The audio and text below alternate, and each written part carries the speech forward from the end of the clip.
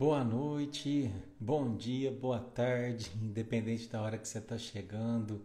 Olá, meus queridos. Que alegria poder entrar no seu lar. Muito obrigado pela tua presença. Muito obrigado pela tua companhia. Pedimos licença agora com muito carinho, com muito amor para a gente chegar na sua casa, na companhia de Jesus, na companhia de Maria, do nosso querido Chico. Oh, meus queridos, muito obrigado pela tua presença. Vão chegando, vão ocupando o seu lugar no barquinho. Boa noite, Érica. Boa noite, Mônica, Nilma. Boa noite, Cris. Um beijo. Um beijo. Boa noite, Drica, Adriane. Boa noite, Denise, Nick. Boa noite, Marco. Boa noite, Lu. Boa noite, Ivo. Tô melhor, irmão. Graças a Deus. Uma tossinha ainda, né? Mas ainda tô, graças a Deus, tô, tô melhor. Boa noite, Cida. Boa noite, Berenice, Lina. Boa noite, Elô. Um beijo. Que coisa boa, meus irmãos. Como é que vocês passaram? Espero que tenham passado bem a semana Boa noite, Luci. Boa noite, Jajá Cunha, de Perdizes, Minas Gerais. Boa noite, Sabrina. Boa noite, Silvânia, Luana. Um beijo no coração, minha irmã. Boa noite, Flávia, Tainá. Boa noite, Jaque, Dri. Eita, que coisa boa, meus queridos. Boa noite, Carol com os três filhotes aí, é um beijo para os três e para você, minha irmã. Bianca, boa noite, Dal, Luci, do Japão, boa noite, Silvaninha. Eita, que coisa boa, gente. Que coisa mais boa. Mônica, pessoal do Japão aí. um beijo para vocês. Tá cedinho aí? Aqui tá a noite. coisa boa. Todo cantinho, né? vai se unindo, vai se fortalecendo. Boa noite, Márcia. Boa noite, Ivan. Um beijo. Boa noite, Gal, querida. Boa noite, Indira. Um beijão, minha irmã. Renata, Bete, querida. Boa noite, Vanusa, Nalu. Quanta gente! Janaína, Bete, mamãe da Vivian. Um beijinho pra Vivian também, que certeza está nos assistindo. Boa noite, que coisa boa, gente. Nossa Senhora a gente vai sentindo que, não sei, parece que a gente entra mesmo, né? Num barquinho assim, e aí todo mundo vai se abraçando, vai se entusiasmando, é aquele bom ânimo, sabe? Aquela alegria assim quando se reúne para para poder fazer um, um, banquete espiritual assim mesmo, é aquele entusiasmo de uma viagem que vai começar e aí todo mundo tá feliz, né? Todo mundo tá entusiasmado para a noite que a gente vai. Claro que a gente sabe que nem todo mundo tá feliz, às vezes não tá numa semana boa, não tá num dia bom, mas é justamente a convivência, né, entre nós, é justamente esse acolhimento, né, que faz com que a gente vá mudando essa frequência. Imagina quanto amor que está sendo né, emitido, emanado nesse instante de tudo quanto é coração, de tudo quanto é cantinho desse nosso país, né? Até de fora do país. E a gente fica muito feliz, né? que bom. Vocês gostaram da live com a Mayra? Foi muito bom, né? Voltamos lá de Brasília com o coração, nossa, abastecido demais, né? Foi uma alegria. Todos os irmãos da casa Inácio Daniel, um beijo para vocês. Obrigado pelo carinho com que vocês nos receberam, viu? Quero deixar um beijo carinhoso também para minha amiga Vivi, né? Olha que presente lindo que eu até trouxe para mostrar para vocês. Sabe o que, que é isso? Isso é uma árvore da vida. Olha que coisa mais linda, gente. Vocês já tinham visto? Uma árvore da vida? A gente ganhou, né? Da Vivi. E, nossa, eu amei esse presente. Voltamos de lá cheio de presente, né? Principalmente aqueles que, que a gente trouxe aí na, na alma, né? os abraços, as palavras. Nossa Senhora, sem, sem palavras para agradecer, né? E é isso aí, meus irmãos. Vamos trabalhar? Que hoje tem muita coisa boa para a gente aprender, muita coisa boa para a gente falar e, e para a gente navegar, né? Quero agradecer também você que está chegando aqui hoje pela primeira vez viu? Sejam muito bem-vindos. Eu espero de coração que possa pelo menos uma palavrinha fazer bem para você, né? Independente da sua crença, é, aqui a religião maior é o amor, viu? E para quem já está aqui no barquinho há bastante tempo, obrigado pela tua, pela tua parceria de sempre. Para quem está assistindo depois também, obrigado né, pela tua parceria. E, e é isso aí, meus queridos. Vamos que vamos, né? Que hoje tem muita coisa boa para a gente aprender, como sempre. Bom. Então, nesse instante,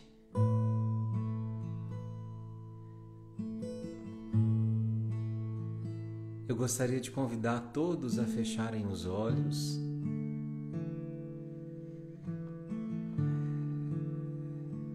À medida que você fecha teus olhos, meu irmão, minha irmã, você respira fundo, sente a si mesmo, sente a si mesmo como um ser espiritual, como um ser divino, merecedor desse encontro, merecedor dessa conexão. Como é grande a nossa alegria ao saber que sim, que sim, que Jesus, o grande Mestre, irá conduzir a nossa embarcação nessa noite.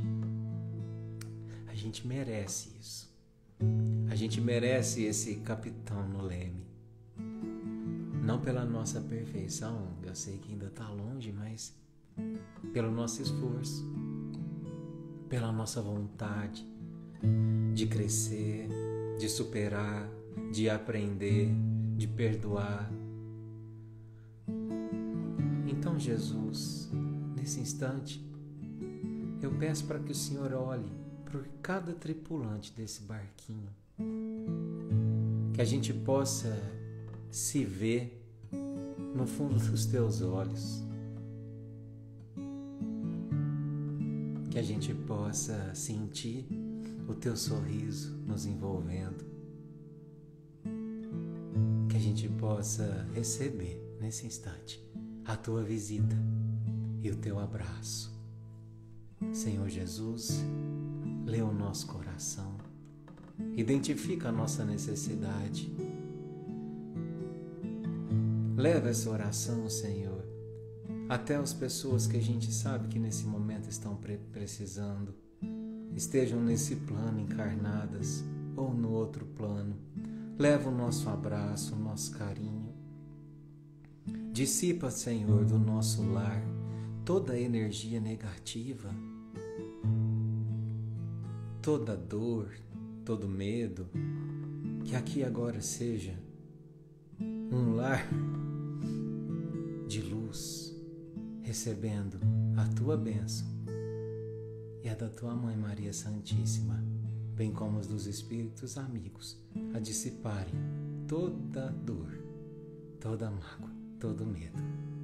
Obrigado, Senhor.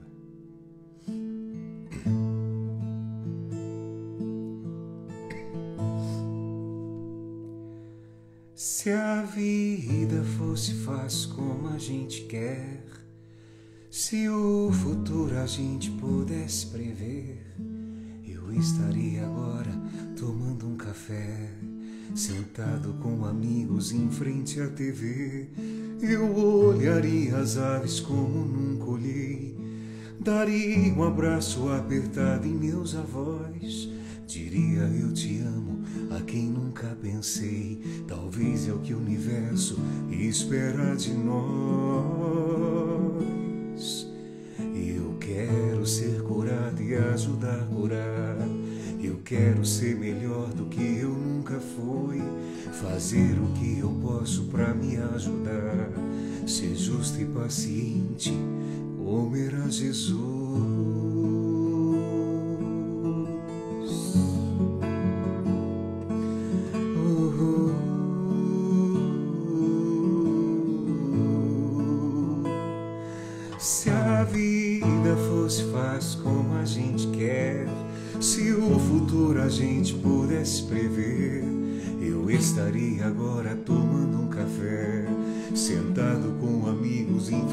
TV. Eu olharia as aves como nunca olhei, daria um abraço apertado em meus avós, diria eu te amo a quem nunca pensei. Talvez é o que o universo espera de nós. Eu quero ser curado e ajudar a curar. Eu quero ser melhor do que eu nunca fui. Fazer o que eu posso para me ajudar. Ser justo e paciente, comer a Jesus. Eu quero dar mais valor até o calor do sol. Que eu esteja preparado para quem me conduz eu seja eternamente como um girassol, de costas pro escuro e de frente pra luz.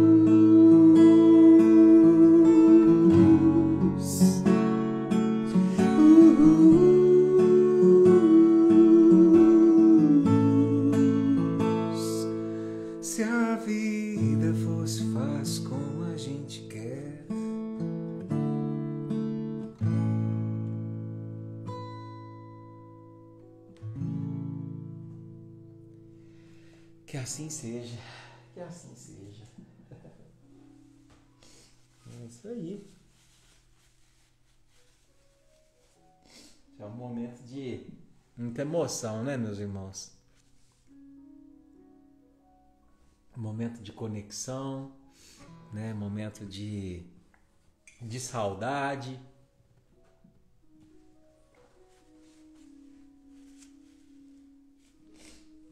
E momento de muita bênção também, né? Um momento em que a gente sente que, sabe, sabe, meus irmãos, às vezes eu nunca esqueço contar uma coisa para vocês.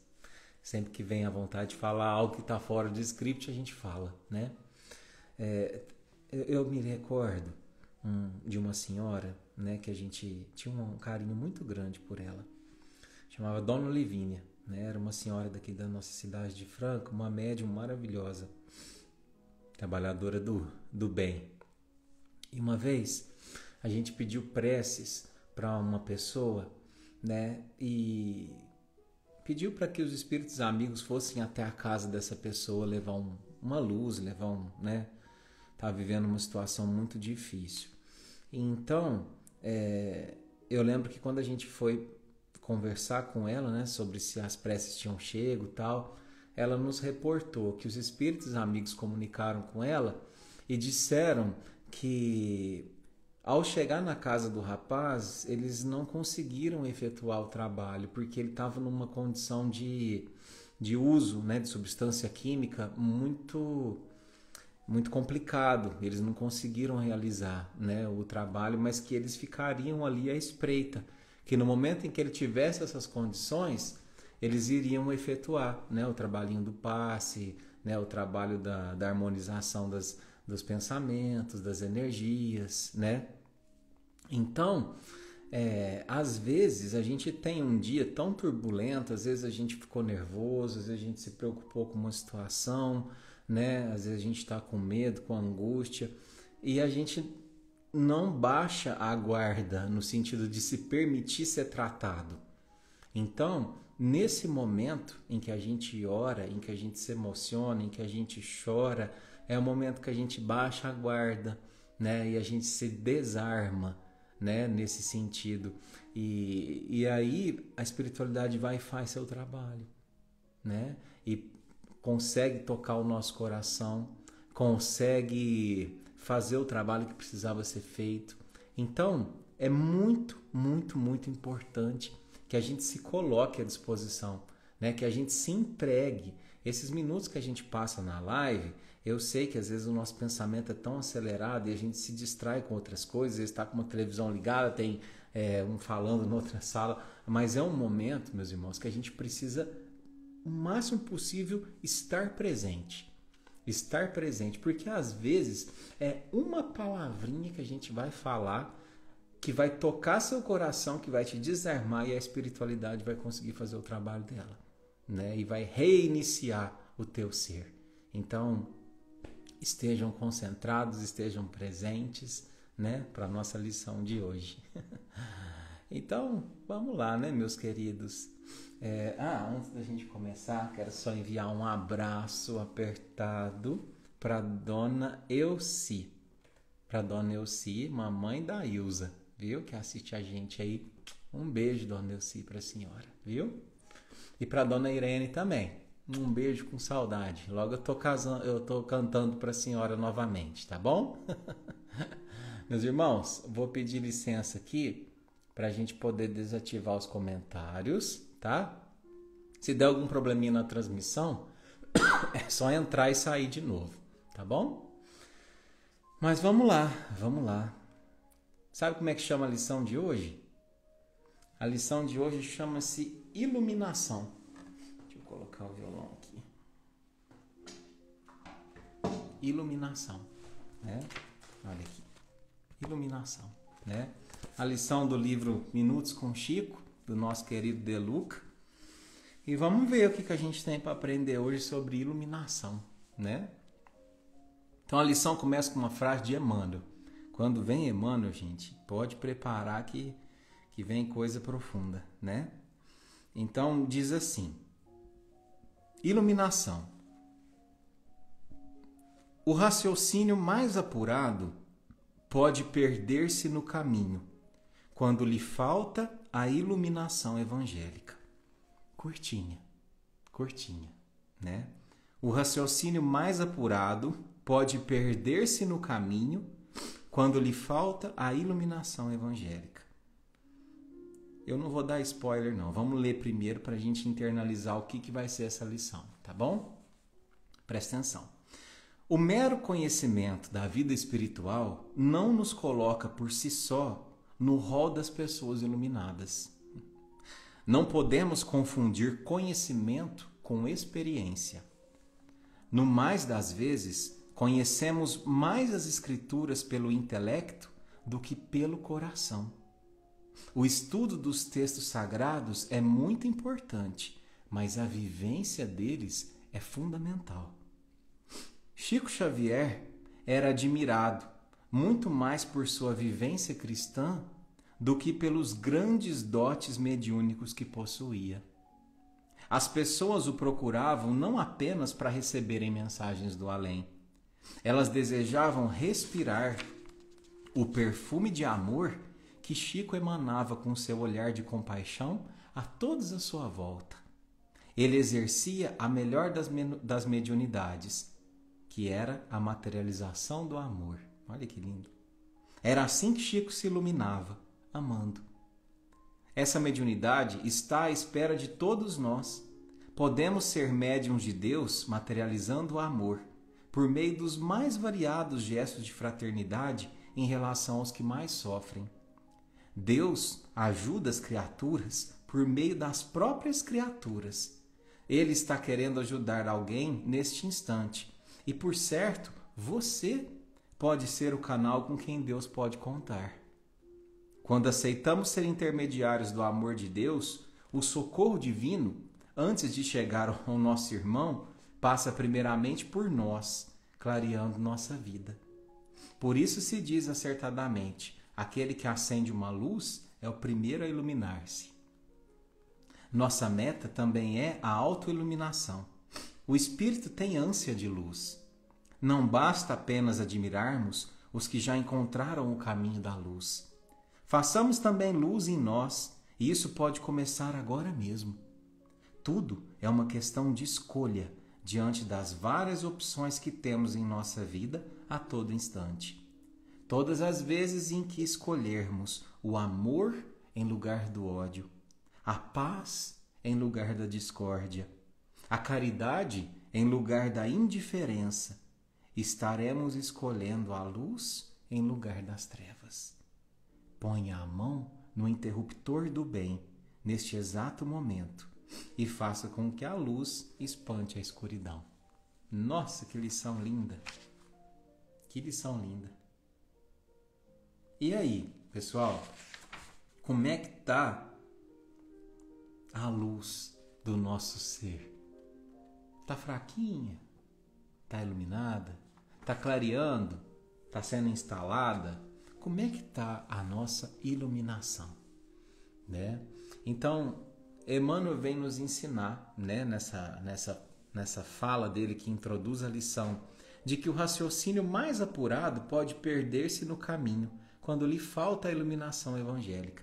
Ou seja, aqui ele começa trazendo para a gente uma reflexão que a gente tem lá em Tiago, na Bíblia, né? Para quem às vezes é católico ou para os espíritos também que estão acostumados com a Bíblia, a gente tem uma passagem de Tiago que ele fala assim: porque assim, assim como o corpo sem espírito está morto, assim também a fé sem obras é morta, né? Então hoje a gente vai falar um pouco sobre isso, sobre a fé sem obras, né? E é muito interessante que a gente estava lá na a gente estava é, lá em Brasília e, e, e, engraçado que a Mayra falou muito sobre isso, né? Nossa nossa irmãzinha lá, ela falou sobre a importância das obras, de uma fé com obras, né? E que é, a, se você apenas estudar a parte intelectual, se você apenas estudar as escrituras, o que que isso muda, né? A gente sabe que é preciso sim a gente ter o conhecimento da palavra, mas muito mais do que o conhecimento da palavra, a gente precisa colocá-la em prática, né? É o que diz aqui, ó. O mero conhecimento da vida espiritual não nos coloca por si só no rol das pessoas iluminadas. Então, quando a gente desencarnar, a gente não vai ser colocado num lugar melhor ou vai para um lugar pior, dependendo de quantos livros a gente leu. De forma alguma, né? O que vai importar para os espíritos amigos é o tipo de livro que nos tornamos, né? Qual é a história que você escreveu dentro de você, através da sua transformação? Não importa se você é ou não uma biblioteca ambulante, se você sabe todas as passagens da Bíblia, ou se te pergunta algo do livro dos Espíritos e você cita a pergunta de cor. É importante o conhecimento. É claro que é. Né? A gente tem a fala, por exemplo, de que o Espiritismo é um consolador. Por quê? Porque é justamente nas Escrituras, no Evangelho, nas obras básicas que a gente vai ter um conhecimento mais profundo da reencarnação, por exemplo, né? Vai ter um conhecimento mais profundo sobre o, o motivo é, das dificuldades, né? Mas fazer o que com isso? Simplesmente guardar para si? Não. A gente precisa utilizar os recursos do conhecimento para aprimorar as nossas atitudes, né? Então, esse é o grande desafio do capítulo de hoje. Não podemos confundir conhecimento com experiência. No mais das vezes, conhecemos mais as Escrituras pelo intelecto do que pelo coração. O estudo dos textos sagrados é muito importante, mas a vivência é fundamental. O Chico, né, ele foi considerado aí o maior brasileiro de todos os tempos, né? Mais de 400 livros escritos. E quando a gente pensa, né, em cada um dos livros dele, por mais que, que a gente saiba que tenha obras que, que se não fossem é, religiosas estariam com certeza entre as, as grandes obras da humanidade, né, reconhecidas internacionalmente, como por exemplo Paulo Estevam, né, Ave Cristo, a gente sabe que o livro mais importante da vida do Chico foi a vida dele, né? Porque do que adiantaria ele ter escrito tanto livro, tanta coisa, se o seu exemplo de conduta fosse avesso àquilo, né?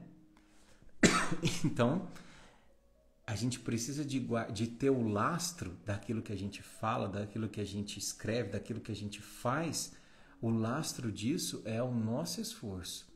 O lastro disso é o quanto eu estou não me dedicando para que um dia eu não seja só mais um que fala, para que eu seja também um exemplo, né, para aqueles que ouvem daquilo que eu falo, né? Então diz assim: Chico Xavier era admirado muito mais por sua vivência cristã do que pelos grandes dotes mediúnicos que possuía. E é verdade, é verdade, né? Se você pega os exemplos da vida do Chico, né, que eu já contei aqui muitos deles, né? Por exemplo, quando ele perdoou a irmã que foi lá e matou o cachorrinho que ele adorava, envenenado, né? Quando ele, por exemplo, é, aceitou com resignação as garfadas da madrasta, né? Quando ele teve um exemplo de disciplina, né? de, de, de assiduidade no compromisso com o trabalho, tudo isso não teve que ter uma mediunidade para ele fazer isso, né? Tudo isso foi muito mais importante do que propriamente trazer as cartas, né? Ou então, uma coisa que ele fazia, né, que talvez você nem saiba, justamente por quê? Porque a vivência dele era mais importante do que o dote mediúnico. As pessoas falam que muitas das vezes, quando é, é, colocavam-se água perto do Chico, a água ela fica, ficava uma substância leitosa. A água se modificava os elementos e ela começava a ter cheiro de rosa, cheiro de flor, né? Por quê? Porque o Chico tinha uma mediunidade de manipulação daquela matéria, né? Mas qual que é a importância disso, né? A importância disso perto, por exemplo, dele ter ensinado sobre o perdão, dele ter ensinado sobre a prática da caridade, dele ter ensinado sobre o esforço.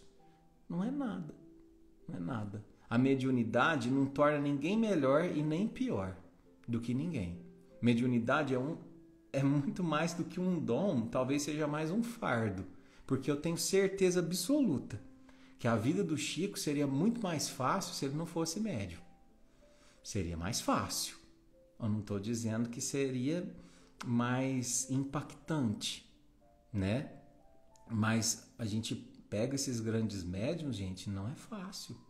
Não é fácil ser médium, né? É uma responsabilidade muito grande, é uma cobrança muito grande. As pessoas muitas vezes não entendem que o telefone toca de lá para cá e que não é a hora que você quer, né?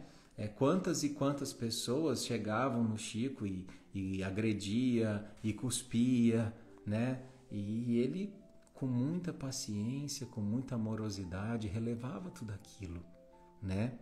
E é o exemplo, e é o exemplo, né? As pessoas o procuravam não apenas para receber mensagens do além. Elas desejavam respirar o perfume de amor que Chico emanava com seu olhar de compaixão a todos à sua volta ele exercia a melhor das mediunidades. Qual que é a melhor das mediunidades? A materialização do amor. Ponto. Essa é a melhor das mediunidades. Aprender a amar. Porque não existe mediunidade comparada a essa. A mediunidade, ela nada mais é do que uma ferramenta de trabalho para o exercício do amor. Então, por exemplo, quando um médium recebe uma carta, qual que é a finalidade disso?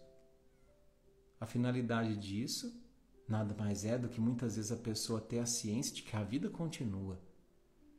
E através disso buscar o seu equilíbrio espiritual para que possa continuar com a sua caminhada, para que possa é, se acalmar e retomar o propósito dessa vida e continuar a caminhada, a peregrinação rumo ao crescimento, para aprender o quê? Amar. Para aprender a amar. Então, quando eu tenho a psicografia, é isso. Se eu tenho uma psicofonia, eu consigo ouvir os espíritos, né? Qual que é o propósito? O propósito muitas vezes é prestar socorro, porque muitas das vezes a gente tem irmãozinhos que desencarnaram e não perceberam que desencarnaram. Então, às vezes chegam nas reuniões mediúnicas aflitos, angustiados, né?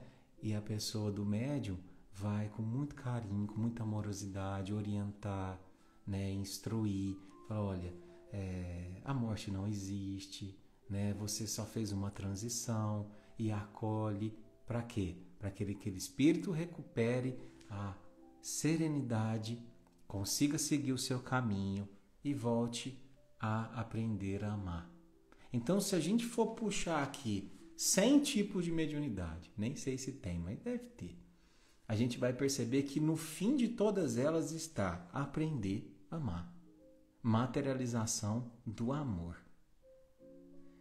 Então, às vezes você fala assim: ah, mas eu não tenho nenhum dom. Mas você não precisa de ter um dom explícito. Eu também não tenho. Às vezes a pessoa fala assim: qual que é a sua mediunidade, Eduardo? Eu falei: não sei, acho que eu não tenho nenhuma, não. Né? Eu simplesmente sou alguém que canto e falo um pouquinho e não tem nada de especial, né? Mas eu busco sempre me vigiar se eu estou materializando o amor na minha vida. E nem sempre estou. Né? É o esforço, né, meus irmãos? É o esforço que vai nos tornar um dia grandes, né? E não um dom mediúnico, certo? Essa mediunidade está à espera de todos nós. Podemos ser médiums de Deus materializando o amor por meio dos mais variados gestos de fraternidade em relação aos que mais sofrem. Deus ajuda as criaturas por meio das próprias criaturas. Ele está querendo ajudar alguém neste instante e, por certo, você pode ser o canal com quem Deus pode contar. Então, aqui a gente já tem um spoiler da nossa iluminação, né? Quando eu pretendo me iluminar, eu preciso primeiro acender a luz sobre alguém, buscar clarear o caminho de alguém, né? Então, olha só o que ele fala: quando aceitamos ser intermediários do amor de Deus, o socorro divino, antes de chegar ao nosso irmão, passa primeiramente por nós, clareando nossa vida. Por isso se diz acertadamente: ó, aquele que acende uma luz é o primeiro a iluminar-se. Percebe? Então, se na tua vida você sente que está tudo escuro, que está nebuloso, que você é, não sai daquilo, que você gostaria de estar tá em outra atmosfera, com outras pessoas, com outros pensamentos, a gente precisa primeiro aprender a acender a nossa luz e iluminar o caminho do irmão.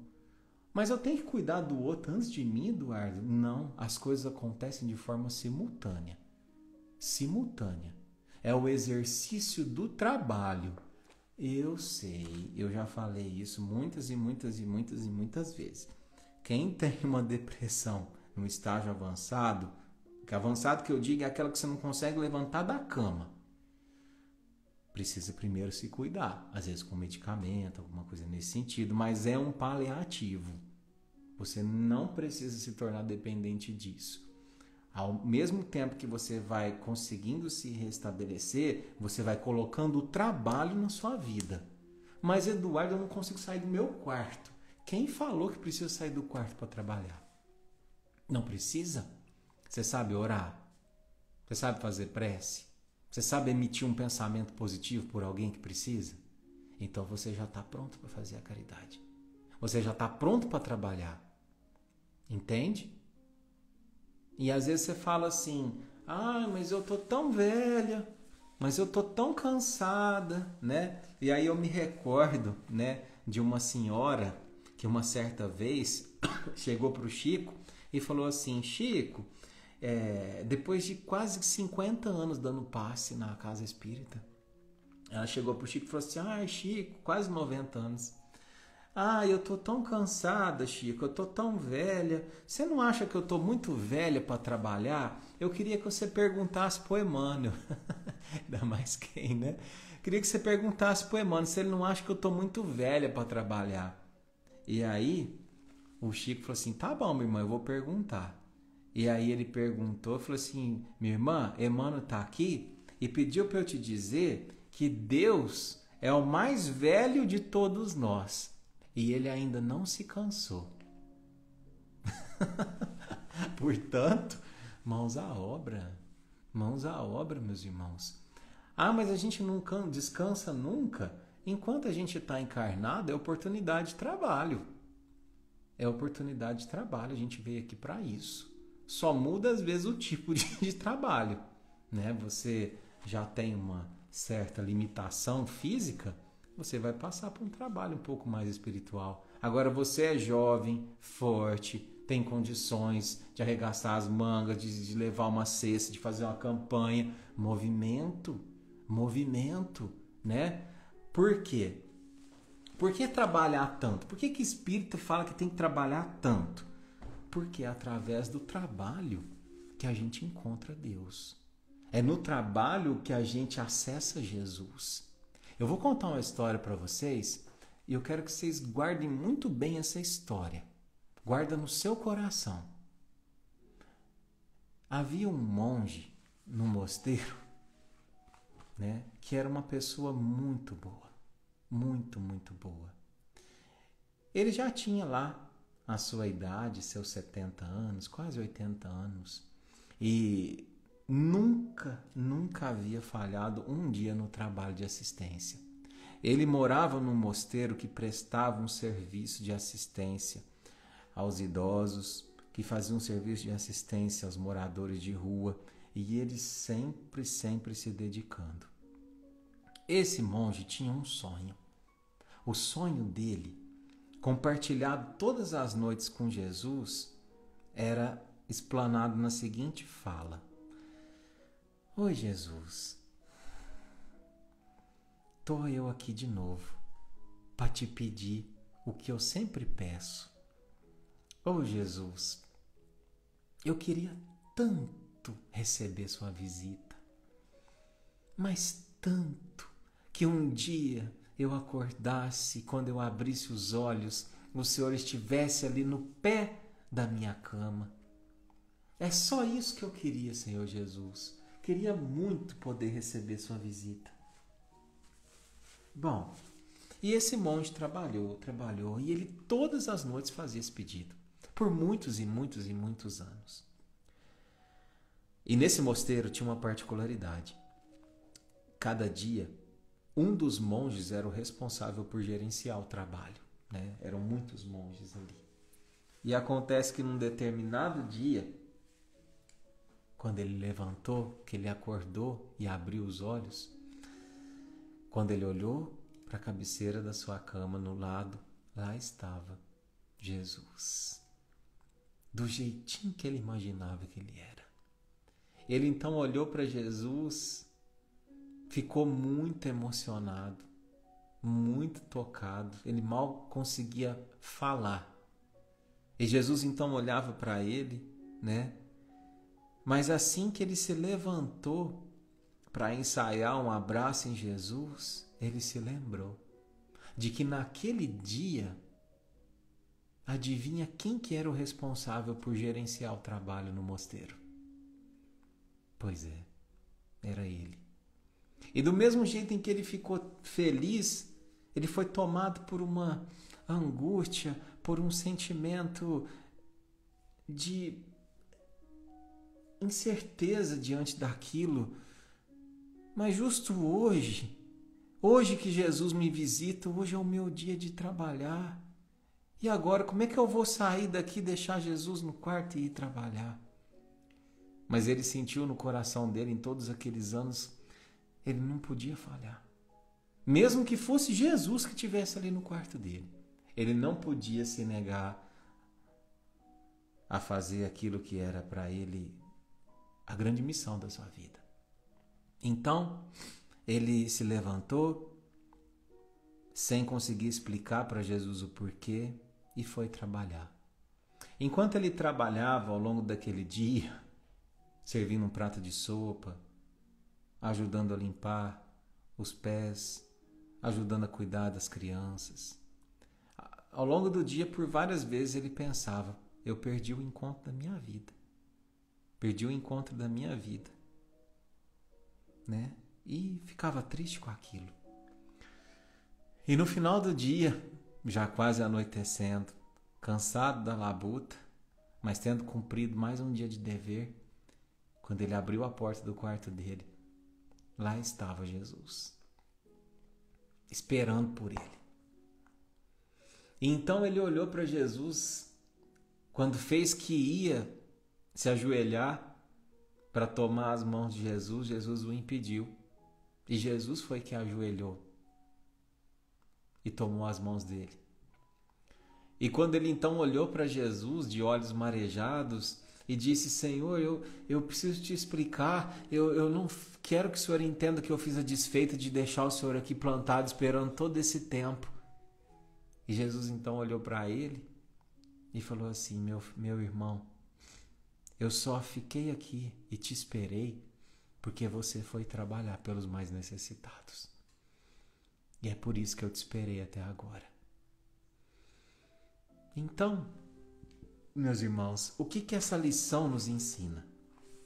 Ela nos ensina que quando a gente serve, que quando a gente trabalha, a gente tem Jesus por perto. A gente tem a presença dele nos esperando no final do dia, no nosso quarto, na cama da consciência tranquila de quem serviu e encontrou a paz ao servir. Muita gente chegava para o Chico e falava assim: Chico, eu vivo uma turbulência. Chico, eu vivo uma aflição. Chico, eu preciso de encontrar minha paz. Eu preciso de achar minha paz. E o Chico falava assim: é só tirar o Z. É só tirar o Z da paz. Tira o Z. Fica pá. Pá. Que remete a trabalho. No trabalho, você vai encontrar a sua paz, a sua iluminação.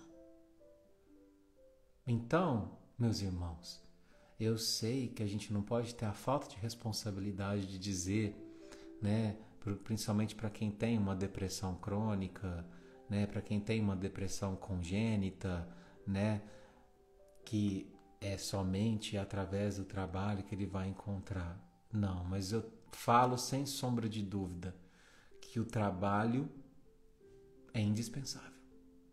É indispensável.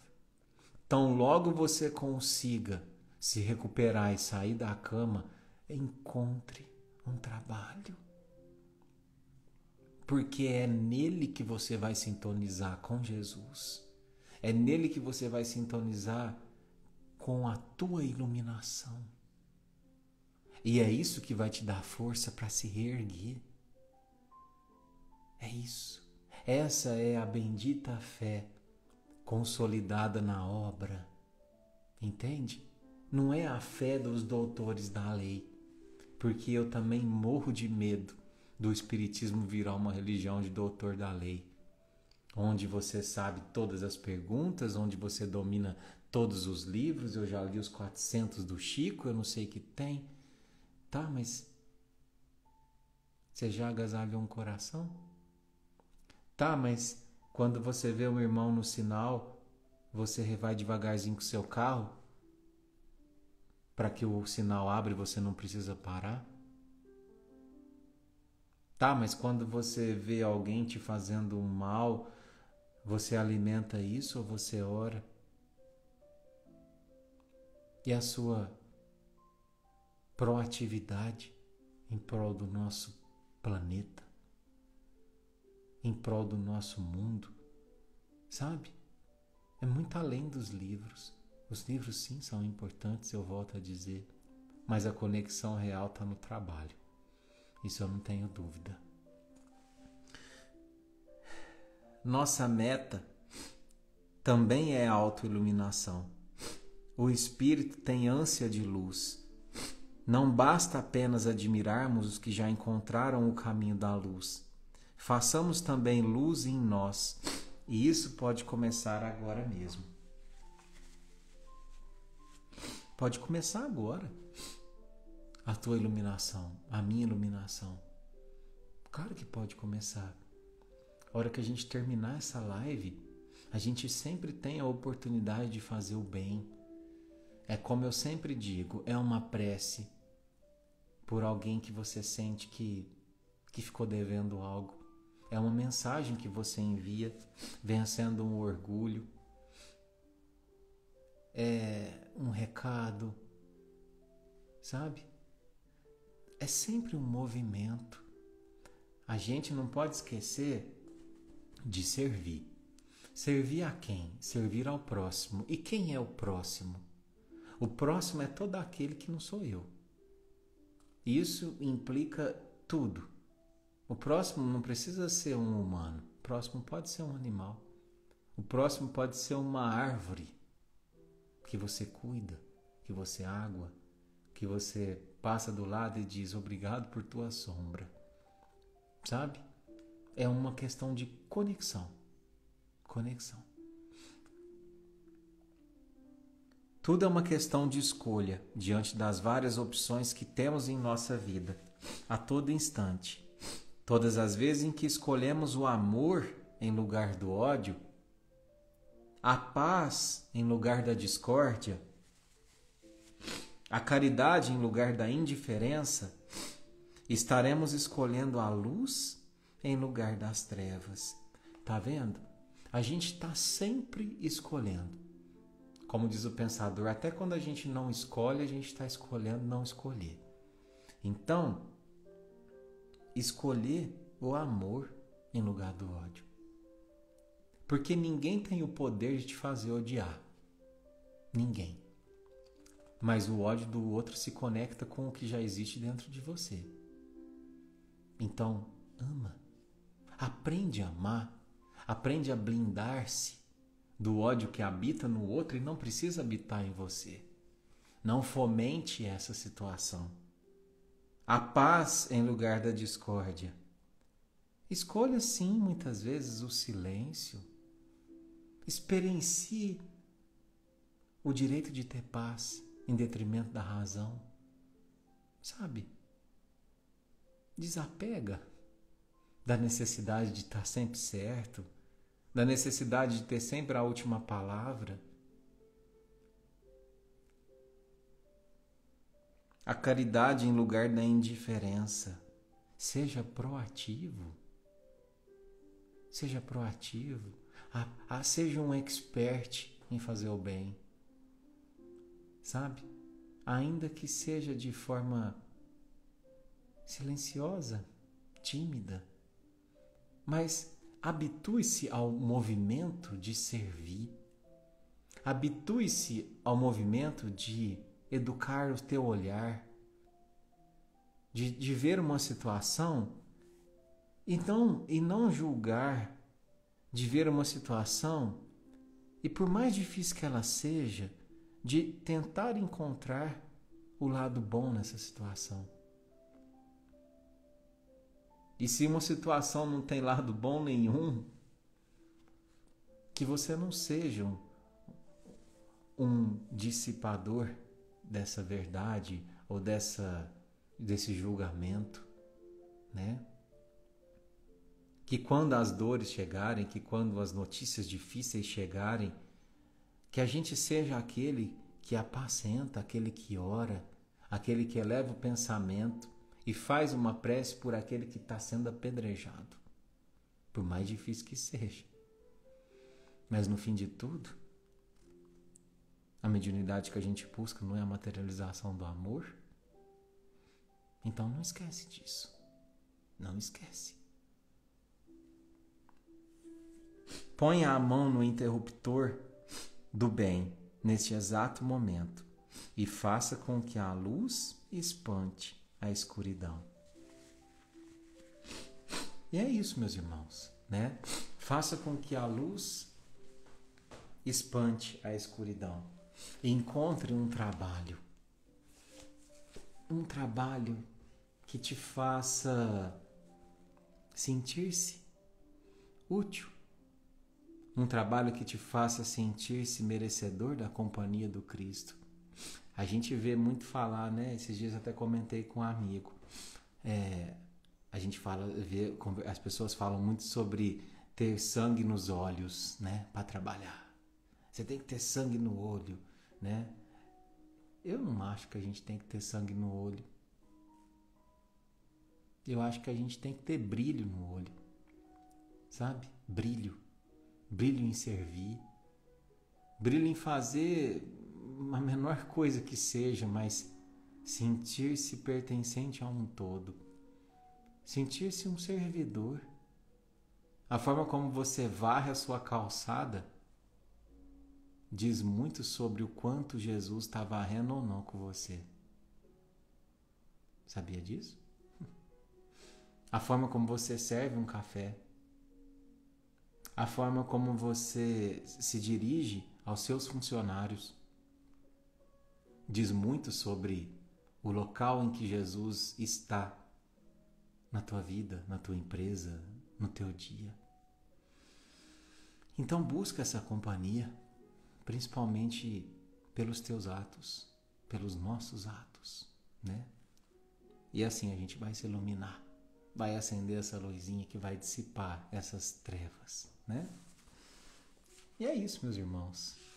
Essa é a lição de hoje, né? Espero que a gente tenha conseguido internalizar, aprender um pouco mais sobre a iluminação eu não vou encerrar a live de hoje. Deixa eu voltar aos comentários sem uma canção que eu tomei um puxão de orelha. Falaram assim: você não pode terminar a live sem cantar uma música, né? E é verdade. A gente sabe que a música ela, ela tem um, um instrumento de cura, né? E às vezes é um momento em que, às vezes alguns de vocês conseguiram entrar só agora, e às vezes essa música é, é o que vai muitas vezes trazer aí a você um momento de paz, um momento de reflexão sobre tudo que foi falado hoje, né? E, e é isso, meus queridos. Vamos lá? Vamos fazer o nosso encerramento aqui.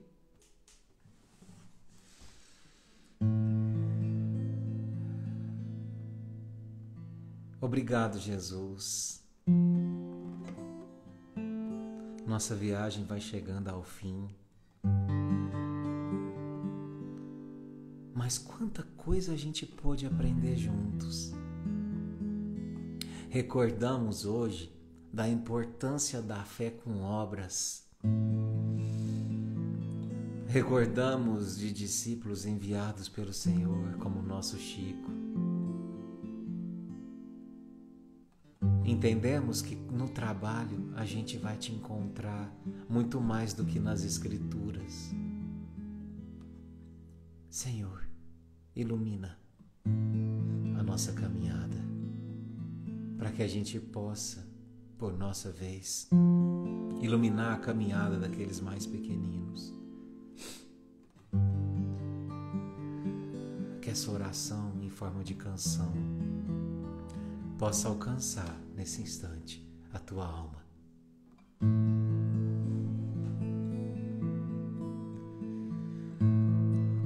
onde estiveres agora. Nosso bom Deus te guarde.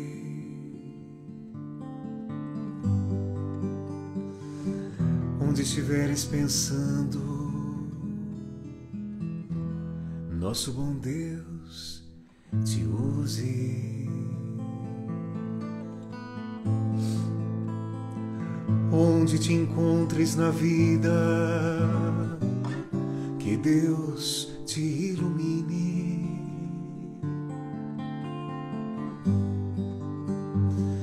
Com quem esteja seguindo, nosso Senhor te guie. No que fizeres tu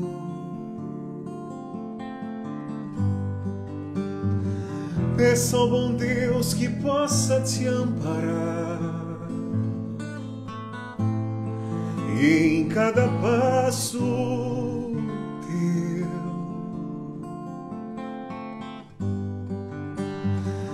mão de Deus irá te abençoar. No que fizeres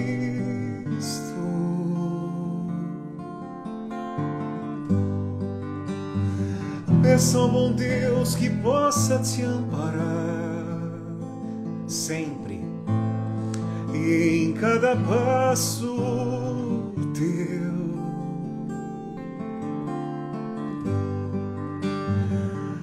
de Deus irá te abençoar. A mão de Deus irá te abençoar. É o que eu peço nessa noite. A mão de Deus irá te abençoar. Onde estiveres agora nosso bom Deus te guarde. Muita luz, muita paz para o seu coração. Um beijo na sua alma. Obrigado pela sua companhia e até semana que vem, se Deus quiser.